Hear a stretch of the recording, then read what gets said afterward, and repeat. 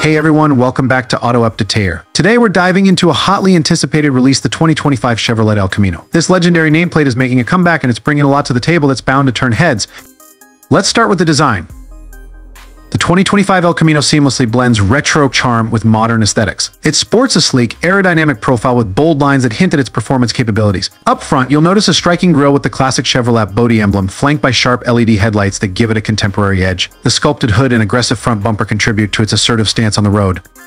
Inside, the El Camino is a blend of luxury and functionality. The cabin features a high-tech, driver-focused layout with a large touchscreen infotainment system that supports the latest connectivity features. Premium materials adorn the interior with available leather upholstery and wood trim adding a touch of sophistication. Comfort is a priority with supportive seats and an intuitive climate control system to ensure a pleasant driving experience.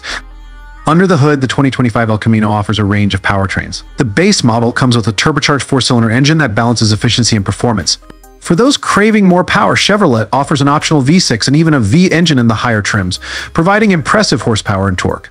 The El Camino's advanced suspension system and available all-wheel drive ensure that it handles with precision, whether you're tackling daily commutes or weekend adventures.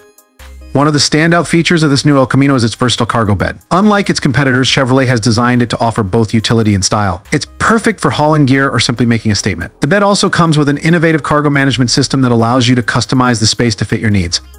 Safety hasn't been overlooked either. The 2025 El Camino comes equipped with a suite of advanced safety features, including adaptive cruise control, lane keeping assist, and automatic emergency braking, to keep you and your passengers secure.